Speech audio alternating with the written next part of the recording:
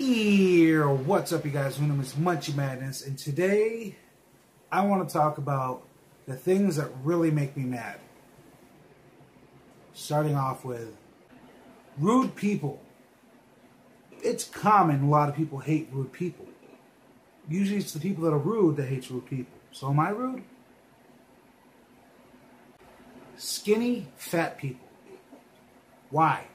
I'm I'm sorry, but skinny fat people. You know those kind of people where they're at McDonald's and they order like 50 things and don't share with anybody and they eat all of themselves and they're like they're just they can eat all of it and they don't gain no weight. I hate skinny fat people. Being told what to do. Not like a being like a boss or something. Like somebody that's like like, you know, a friend or, you know, somebody I don't even know just saying, "Hey, pick that up." I hate that. You know, they have no reason to tell me what to do. Stinky people. Oh my god, stinky people.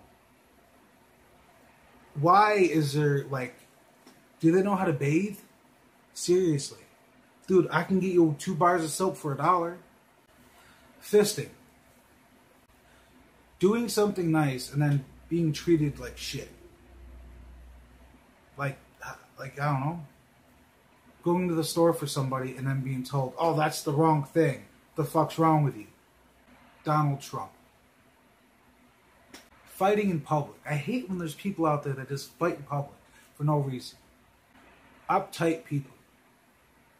You know, those type of people where they think they're better than you and they just don't want to like loosen up and have a good time. You know what I mean? I hate those kind of people.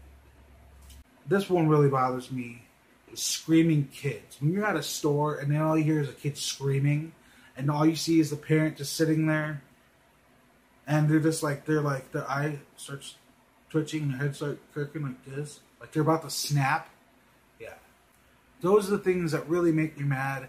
I hope you guys agree on them. Maybe you don't, but maybe you do. Um, check out for more videos and stay tuned.